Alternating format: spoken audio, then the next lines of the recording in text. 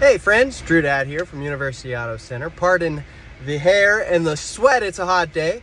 Um, but I just learned something about Apple CarPlay, which if you're not familiar, Apple CarPlay is a, a software system that comes equipped with uh, in a lot of the new vehicles today. And uh, it allows your phone's interface to integrate onto your touchscreen, as you can see like this.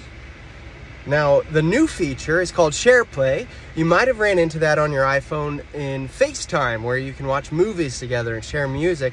Well, with Apple CarPlay now, SharePlay allows people in the car to connect to your Apple CarPlay and play music and stream podcasts and all those things from their own phone. So you won't be fighting anymore when my girlfriend and I are on, on rides together. Now that we fight, but we're always tossing the phone back and forth, trying to come up with music, who's playing DJ now or whatever. Now, when you have a crew with you, they can each play their own songs through the sound system in the car. So it makes for a fun adventure and, and a, a good experience for everybody.